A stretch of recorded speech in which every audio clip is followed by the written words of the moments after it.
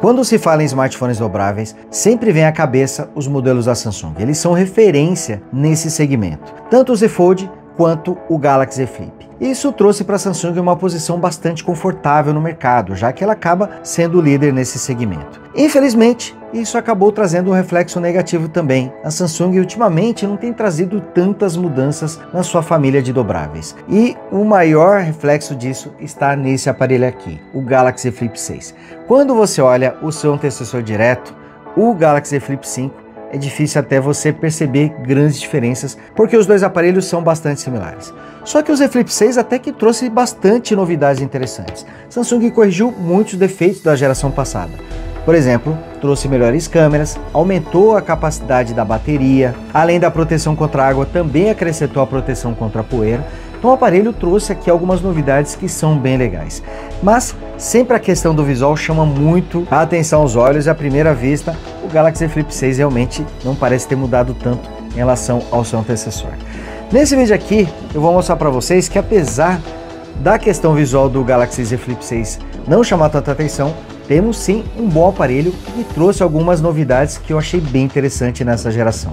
E com certeza o Galaxy Flip 6 acaba sendo uma ótima dica para quem quer ter o seu primeiro dobrável ou para quem já está há dois anos com algum dobrável, seja da família Flip ou Fold e quer fazer uma troca. Então para vocês avaliarem tudo isso e analisar se é hora de comprar um dobrável ou se é hora de trocar o seu dobrável, assiste esse vídeo até o final. Só que antes vou pedir para vocês clicarem aqui no botão do gostei para ajudar o canal Big Geeks a continuar crescendo e para fazer com que esse vídeo alcance mais pessoas. Então olha, dá essa força simplesmente clicando aqui no botão do gostei. E você que ainda não é inscrito, se inscreva, ative o sininho para ser notificado de todos os nossos novos vídeos e torne o Big Geek você também.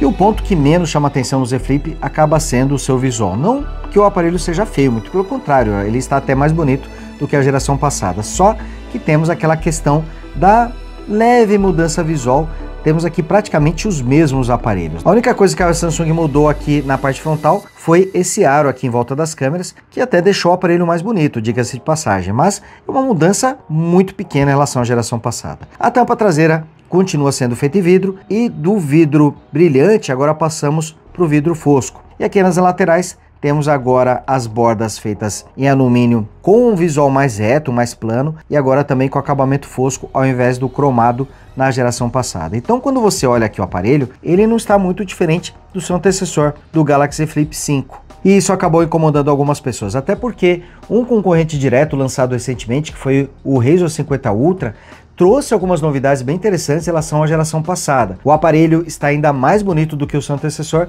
e aqui no Z Flip 6, apesar dele trazer algumas mudanças, elas realmente acabam sendo muito pequenas.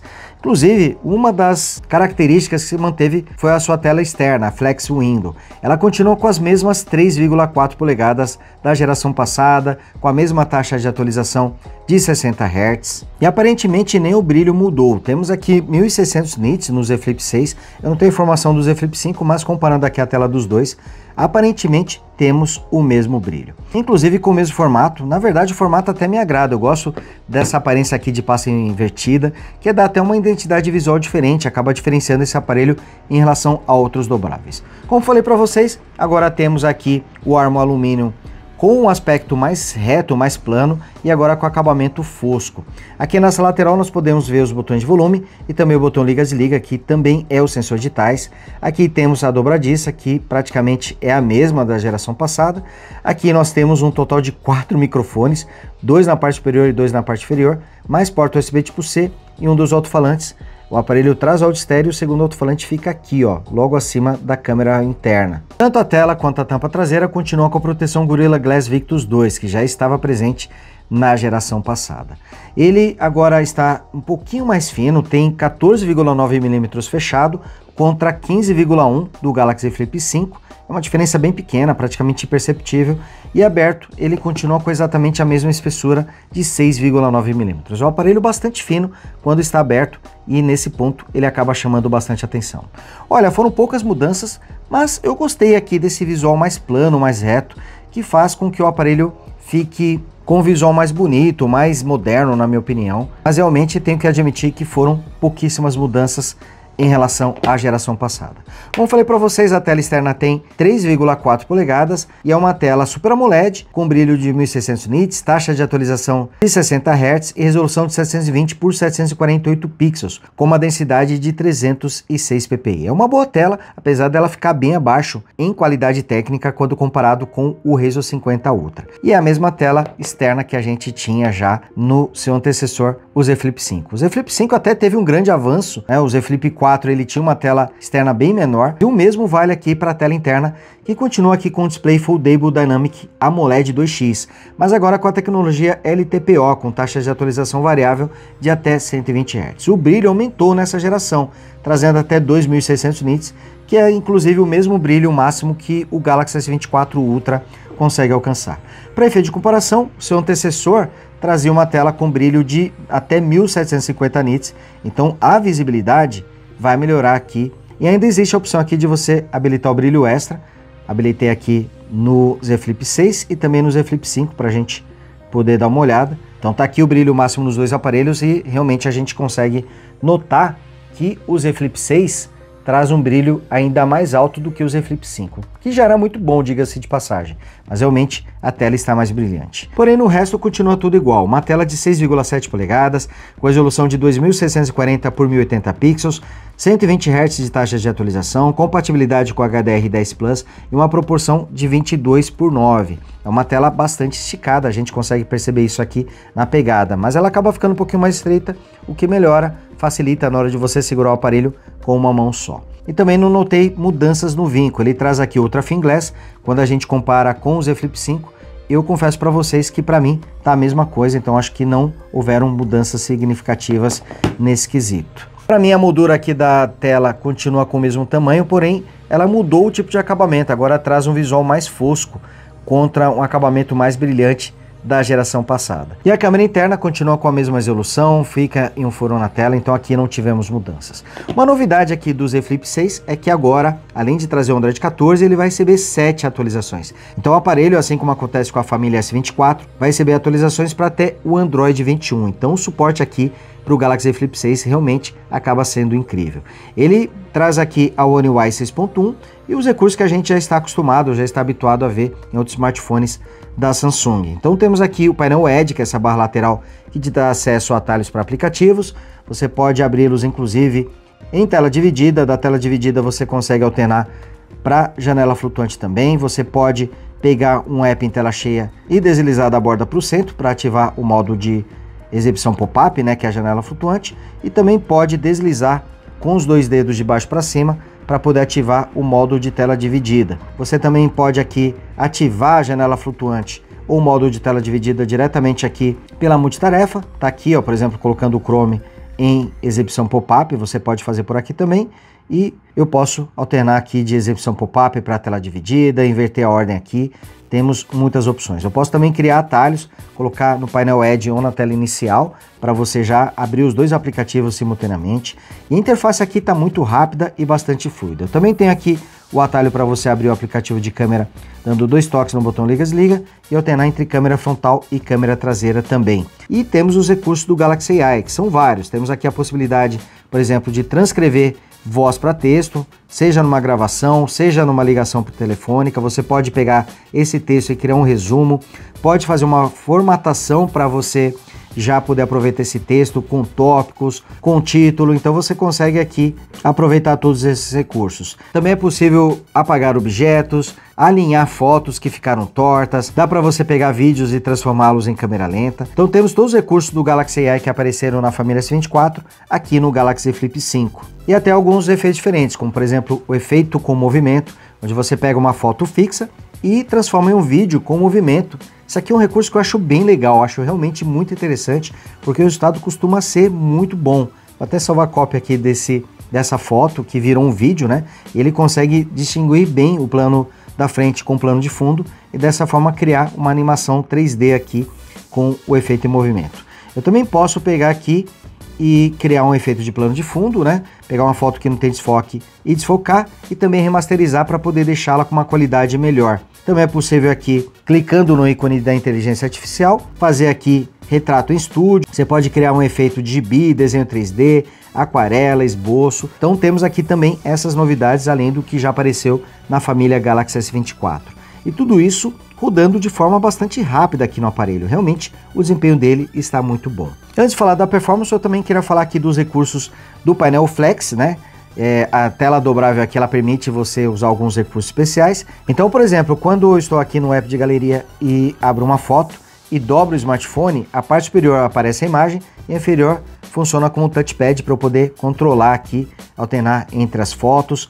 Quando eu abro aqui o aplicativo de câmera e também dobro o aparelho, ele vai jogar a imagem para cima e o painel de controle na parte inferior. Ele também traz o modo webcam, quando você começa uma gravação, ele vai mostrar aqui o controle do zoom, para fazer um zoom suave inclusive, como se fosse uma filmadora mesmo, um efeito bem legal, então você pode usar o aparelho como se fosse uma webcam.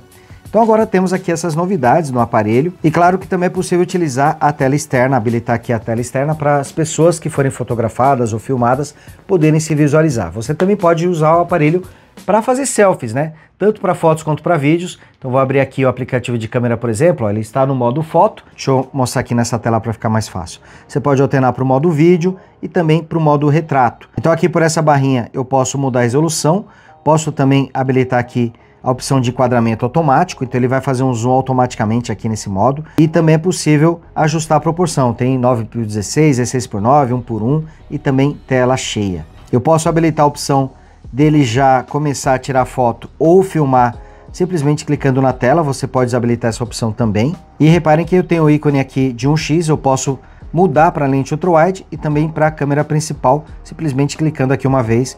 Então você consegue operar o smartphone para fazer selfies, tanto em fotos quanto em vídeos, tanto na vertical quanto na horizontal, você pode operá-lo dos dois modos e você consegue dessa forma né, aproveitar as câmeras principais para fazer selfies e com uma qualidade superior ao que teria com a câmera interna aqui do aparelho. Ah, e outro recurso legal que eu quero mostrar para vocês está aqui no Interpret. Agora quando você aciona o Interpret, você pode dobrar o smartphone e ele vai exibir as mensagens aqui na tela externa, na Flex Window. Então vou, por exemplo, aqui gravar um áudio. Então vamos lá, vou falar alguma mensagem aqui para ele poder fazer a tradução para o inglês. Ó, tá aqui, ele vai exibir também na tela frontal. Então dessa forma fica até mais natural, né, para poder fazer a conversação, já que é, o que eu falar, além de fazer a tradução em voz, vai aparecer também a mensagem na outra língua aqui para outra pessoa com quem você estiver conversando. Então a tela externa aqui ganhou mais uma função. E agora falando de performance, esse aparelho simplesmente vem com o chipset mais poderoso do momento, o Snapdragon 8 Gen 3, um octa-core com núcleo de altíssima performance da série Cortex X4, mais 5 a 720 de performance e 2 a 520 de eficiência energética, rodando até 3.39 GHz. A GPU Adreno 750 e o aparelho nessa geração ganhou mais memória RAM, agora são 12 GB no padrão LPDDR5X e opções com 256 e 512 GB de armazenamento no padrão UFS 4.0. Novidade também dessa geração é que o Galaxy Flip 6 ganhou uma câmara de vapor para poder ajudar no resfriamento do aparelho. Isso é novidade nessa geração, as gerações anteriores não contavam com esse recurso. Então o Z Flip 6, além de estar mais poderoso, trazer mais memória RAM, ainda tem um melhor sistema de resfriamento, o que com certeza vai melhorar a performance. E olha, jogar nesse aparelho aqui é uma experiência incrível. Abrir os aplicativos, a interface, tudo é extremamente rápido, dificilmente você vai experimentar engasgos aqui nesse aparelho. Só que o melhor é que ele também consegue mandar muito bem jogos. As gerações anteriores já mandavam muito bem, só que esse aqui consegue ir além, não só por trazer um chipset ainda mais poderoso, mas também por contar com esse novo sistema de resfriamento usando uma câmara de vapor. Outra coisa que melhorou foi a bateria agora com 4.000 mAh. Felizmente isso trouxe uma melhora na autonomia nessa geração e com o brilho da tela em 120 lux, o Galaxy Flip 6 gastou 4% de bateria na tela principal, a tela interna, e 3% na tela externa tela externa gastou até um pouco menos de bateria. Assisti uma hora de vídeo no YouTube gastou 6% de bateria tanto na tela interna quanto na tela externa. Olha que curioso, né? Gravar um vídeo de 10 minutos com app de câmera em resolução Full HD gastou 4% na tela dobrável e apenas 1% na tela externa, gostei bastante disso. E navegar no GPS com o aplicativo Google Maps durante uma hora, gastou 5% na tela dobrável e 4% na tela externa. Então, dependendo aqui do aplicativo que você utilizar, na tela externa ele vai gastar menos energia, vai gastar menos bateria, até por ser uma tela com taxa de atualização 60 Hz, com uma resolução menor. Então, ele consegue gastar menos energia na tela externa, o que acaba sendo bastante positivo. Porém, infelizmente, a sua tela externa acaba sendo um pouquinho limitada em relação ao suporte de aplicativos. Reparem no que eu consigo abrir aqui de aplicativo na tela externa nesse momento. Ele também permite abrir o WhatsApp, o Telegram nativamente, mas o suporte é muito pequeno. Eu acredito que a Samsung poderia permitir com que praticamente todos os apps fossem abertos na tela externa, assim como acontece com o Razr 50 Ultra.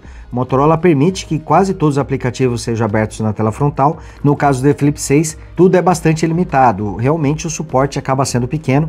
Dá para você contornar isso. Existe um aplicativo de terceiro que você pode instalar através do Good Lock, que vai habilitar a opção de você usar qualquer aplicativo na tela externa, mas acredito que isso deveria vir nativamente aqui nesse aparelho.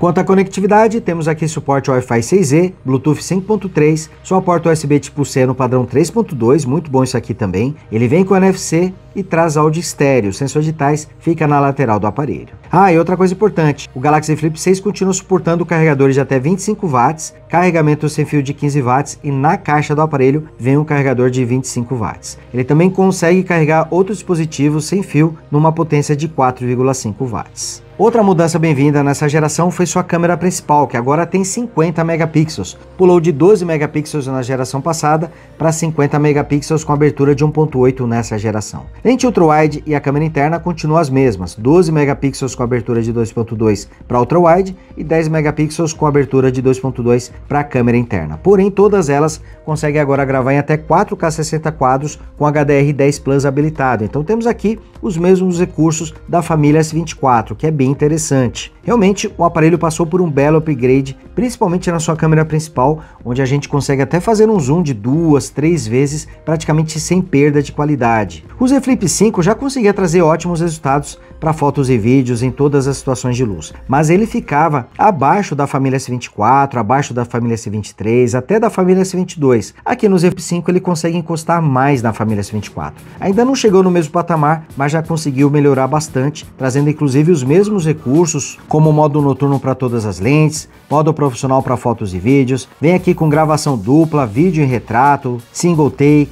Realmente as câmeras melhoraram bastante e eu estou deixando exemplos aqui de fotos e vídeos para vocês poderem conferir.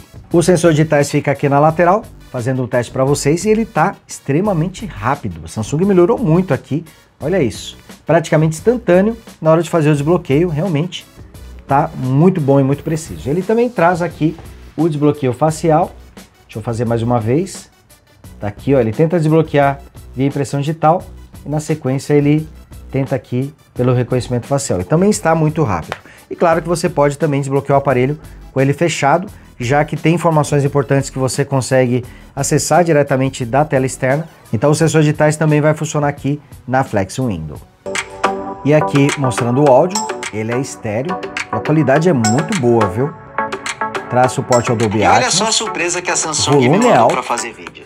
Galaxy A06. A impressão que eu tenho é que ele melhorou consideravelmente em relação ao Z Flip 5. O som está mais forte, mais encorpado, graves melhores. E olha, em Também discuti bastante o áudio aqui desse aparelho. E aqui mostrando a tela interna, a tela dobrável de 6,7 polegadas, com suporte ao HDR10 Plus, resolução de 2640 por 1080 pixels, proporção de 22 por 9 e taxa de atualização variável de 120 Hz. Ela também conta com brilho máximo de 2600 nits. E apesar das limitações da tela externa, ela pode ser utilizada para ver vídeos no YouTube, aqui mostrando o vídeo rodando também na tela externa. A tela dobrável do Galaxy Flip 6 está até 5 vezes mais resistente a pressões, então é mais difícil dela sofrer danos, mesmo que você pressione com mais força, ela traz agora uma maior resistência. E o aparelho também ganhou a proteção contra poeira, ele já trazia a proteção contra água e agora vem com a proteção contra poeira, proteção IP48, Além de ficar submerso até um metro e meio d'água por 30 minutos sem sofrer danos, ele agora está mais resistente à poeira, o que é muito importante um smartphone com tela dobrável. Realmente a Samsung fez um progresso bem legal nesse ponto.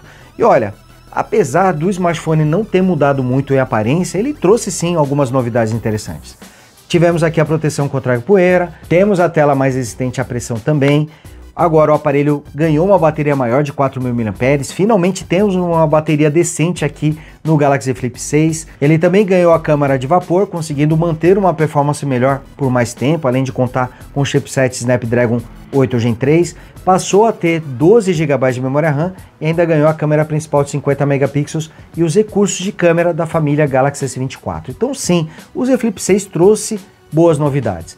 O problema talvez seja a questão da tela externa, que poderia ter ganho um tamanho maior, ela poderia ter crescido nessa geração. Acredito que se isso tivesse acontecido já seria o suficiente para todo mundo gostar bem mais do visual do Galaxy Flip 6. Ele não mudou tanto em relação à geração passada, concordo com isso, mas se a Samsung tivesse mexido na tela externa, eu acredito que a sensação de mudança teria sido bem maior. Pelo fato da tela ter permanecido a mesma, ficou aquela impressão de que temos aqui o mesmo aparelho, mas não é necessariamente o que acontece. Em relação a preço, o Galaxy Flip 6 foi lançado aí por a partir de R$ 7.999, mas já é possível encontrá-lo com preço mais em conta. Nas duas versões, tanto com 256 GB quanto 512 GB, já estão com preço mais em conta, então é um smartphone que vai ficando mais barato com o passar do tempo. E eu vou deixar o link das duas versões aqui na descrição do vídeo. Bom, galera, então é isso, vou ficando por aqui. Espero que vocês tenham curtido esse vídeo. Não esqueça de deixar seu like e você que ainda não é inscrito, se inscreva e torne o Big Geek você também. Grande abraço e a gente se vê no próximo vídeo. Tchau!